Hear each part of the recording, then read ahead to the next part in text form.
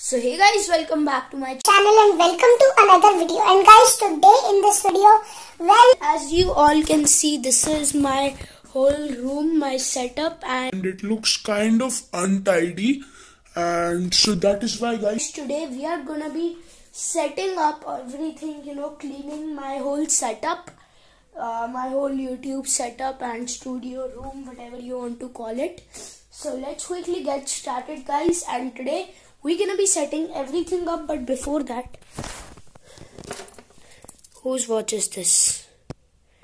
Because this isn't my watch. Oh yeah, it's my mom's watch. And where's my watch? Oh shit. Where's my watch? It must be in the other room, I don't know. But today, guys, let's quickly get started with setting everything up. As you all can see, the whole bed it's completely, you know, kind of untidy.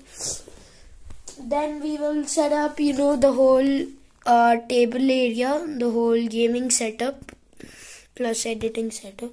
So we'll, uh, you know, set that up real quick. So first things first, guys. Uh, my hand is paining. Let's get you guys on the Gorilla Pod. Uh, now I feel pretty nice. And also, guys, if you all think that my voice quality is coming bad in my videos, if you think that inside my videos my voice quality are not able to hear well that what am i saying or the background noise is disturbing then everything will be sorted out because i have ordered a new mic for my camera. So that is going to come soon and then the uh, you know audio quality will be increased because it's a very nice mic. So we'll see that. And right uh, with the windshield as well.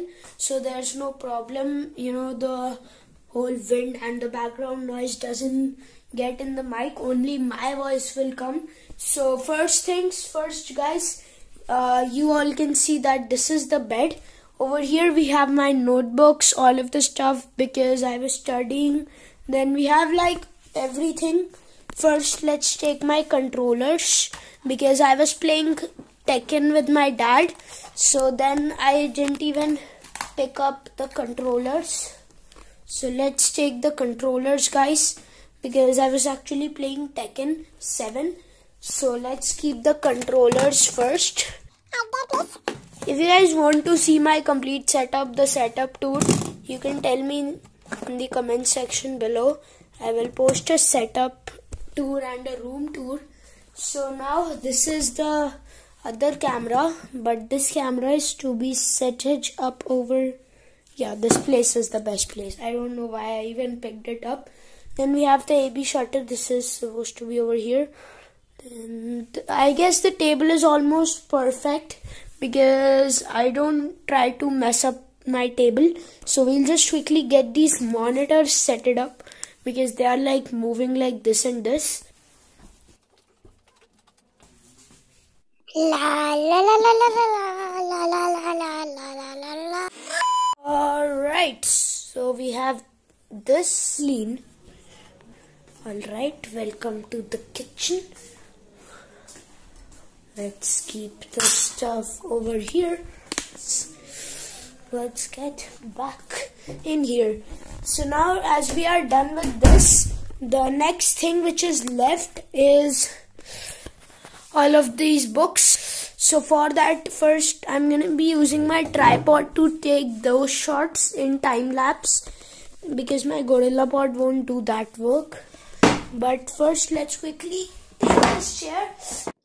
oh oh Alright. So we got the chair right at its location. Now looks like this work is done. So we got the table complete guys. What is this doing over here? Oh i know. I had this and then i just left this over here. Next up we gotta do a lot of work dude. So let's quickly first finish up cleaning the books so you guys see that in a quick time lapse. So let's set you guys up over there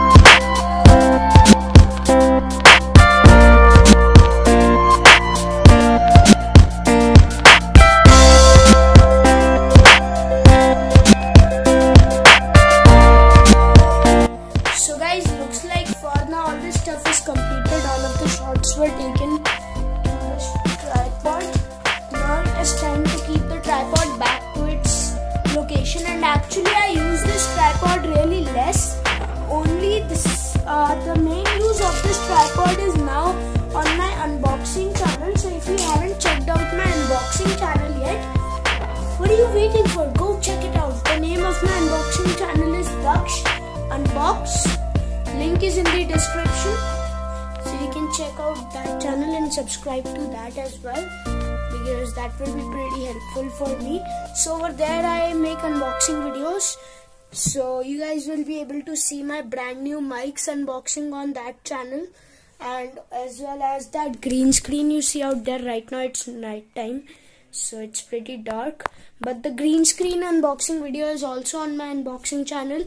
Soon i will post the gorilla pod and the tripod review as well. That will be pretty helpful for you especially the tripod review. So make sure you subscribe and hit the notification bell icon on that channel. So for now guys let's end this video right over here. I mean i hope you all enjoyed it. If yes then yeah what you have to do is just give this video a like and subscribe to my channel. So yes i'll see you all in the next video. And my mic is also coming. I hope the vlogs will be pretty better. So for that and now guys after so much of time i'm using this tripod on this channel. That's it for today's this video. I hope you all enjoyed my today is this video see you all in the next video till then what we say forever is as always stay awesome, stay cool, and